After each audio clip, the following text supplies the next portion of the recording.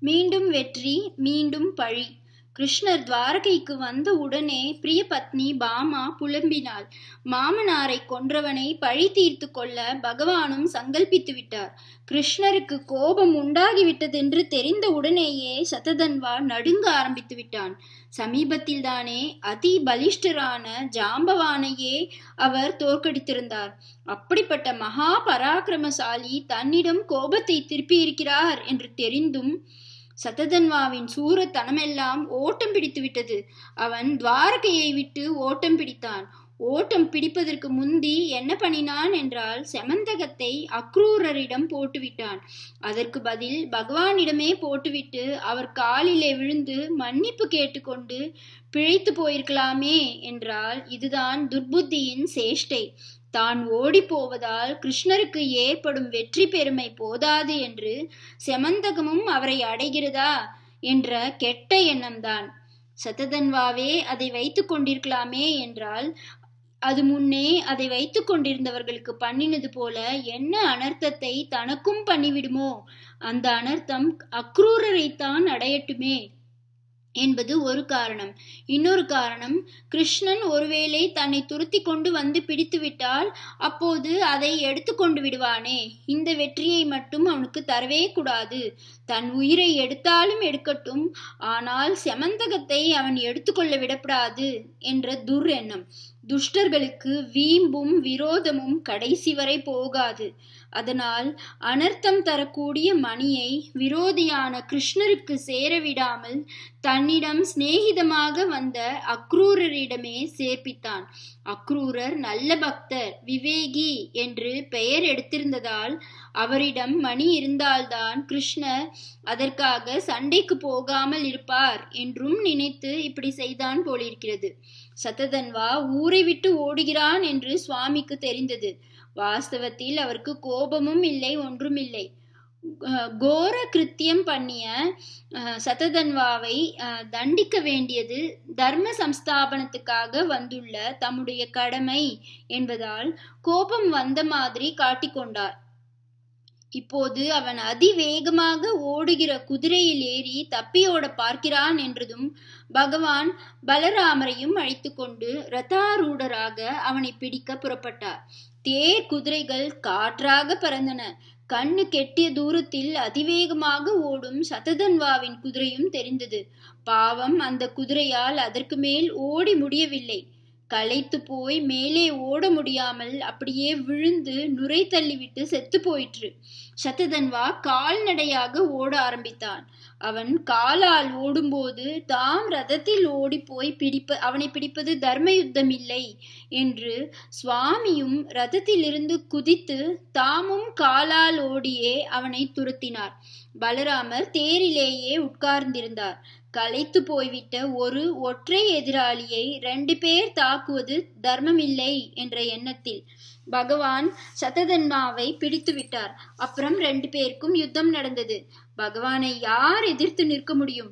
சததன்வா அவர் கையால் சம்ஹரிக்கப்பட்டான். அதனால் மகா பாப்பியான அவனுக்கும் புண்ணியலோகம் கிட்ட செய்யணும் என்றுதான் அவர் இப்படி தேராலேயும் காலாலேயும் ஓடி ஓடி வந்தது. ஜாம்பவானிடம் போலவே சததன்வாவிடமும் பகவானுக்கு ஜெயசாலி என்ற பெருமை செமந்தகத்தினால் ஏற்பட்டது. ஆனால் அது எடுபடாமல் மறுபடி பழியும் வந்தது. செத்து போனவனிடம் செமந்தகம் இருக்கிறதா என்று தேடி பார்த்தார். கிடைக்கவில்லை. அவன்தான் அக்ரூரரிடம் அதை போட்டுவிட்டானே. கீதையில் பகவான் தம்மை பற்றி வேதாகம் சம தீ தீதானி வர்த்தமானானி சார்ஜுன பவிஷ்யானி ச பூதானி மாம் தூ வேத ந கச்சன என்று சொல்லிக் கொள்கிறார். அதாவது அர்ஜுனா இறந்த காலம் நிகழ்காலம் எதிர்காலம் எல்லாவற்றிலும் நடக்கும் சமாச்சாரங்கள் எனக்கு தெரியும். ஆனால் என்னைத்தான் எவராலும் தெரிந்து கொள்ள முடியாது என்று சொல்லிக்கொள்கிறார் அப்படிப்பட்ட சர்வஜர் தான் சததன்வாவிடம் மணி இருப்பதாக நினைத்து துரத்திய மாதிரியே ஆட்டம் போட்டிருக்கிறார். அண்ணாவையும் இந்த அபிப்பிராயத்தை சொல்லித்தான் அழைத்து வந்தார்.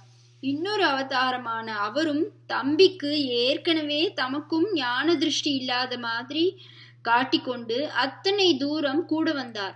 ஊராரிடம் மித்யாபவாதப்பட்டது போதாது. சொந்த தமையனாரிடமும் அபவாதப்பட்டு மனுஷ்ய வாழ்க்கையின் அடி உதைகளை நன்றாக வாங்கிக் கொள்ள வேண்டும் என்றே சுவாமி மாய விளையாட்டு பண்ணினார் போல இருக்கிறது. சத்ததன்வாவை வதம் செய்துவிட்டு ரதத்துக்கு திரும்பியவர் அண்ணா அவனை கொன்றுவிட்டேன் ஆனால் மணியை அவனிடம் காணவில்லை என்றார். இவருடைய மாயா நாடகத்துக்கு தாமும் அனுசரணையாக போக வேண்டும் என்பதாலேயே பலராமர் இவரிடம் விரோதமாக நடக்க வேண்டியிருந்தது. அதனால் கிருஷ்ணர் இப்படி சொன்னாரோ இல்லையோ பலராமருக்கு ரௌத்ர கோபம் உண்டாகிவிட்டது. டேய் கிருஷ்ணா நீ எப்போதுமே கபடியாகத்தான் இருந்திருக்கிறாய். இப்போதும் மணியை நான் எங்கே கேட்டு விடுவேனோ என்றுதான் கபடம் பண்ணுகிறாய். அதை எங்கேயோ ஒழித்து வைத்துக்கொண்டே நீ கதை அளக்கிறாய் என்பதில் எனக்கு கொஞ்சம் கூட சம்சயமில்லை.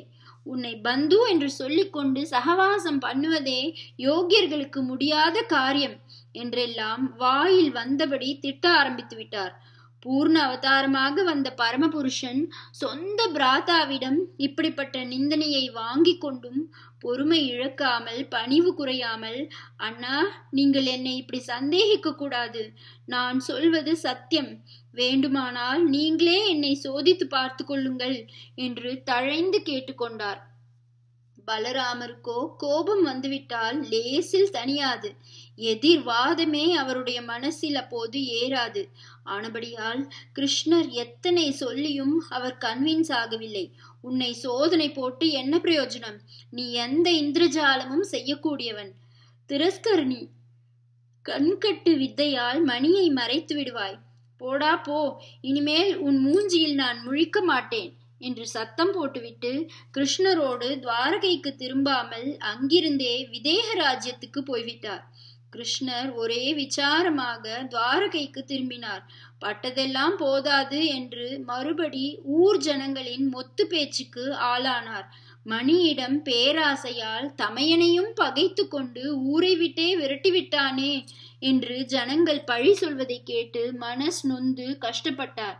சாதாரணமாகவே ஜனங்களின் குணம் ஒருத்தரிடம் உள்ள நல்லதற்காக கொண்டாடுவதை விட அவர் என்ன தப்பு பண்ணியிருக்கிறார்?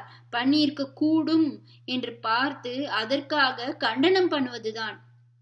நம்மிலே பேப்பர் படிக்கிறவர்கள் பொது விஷயம் பேசுகிறவர்கள் கூட அவரவருடைய அபிமான தலைவர்களை புகழ்வதை விட பிடிக்காத மற்ற கட்சிக்காரர்களை காரசாரமாக விமர்சிப்பதில்தானே அதிக ருச்சி காட்டுகிறோம். திட்டி பேசுவதில் இன்றைய ஜனங்களுக்குள்ள ஈடுபாடு என்றைக்குமே இருந்திருக்கிறது என்று இந்த புராண கதையிலிருந்து தெரிகிறது.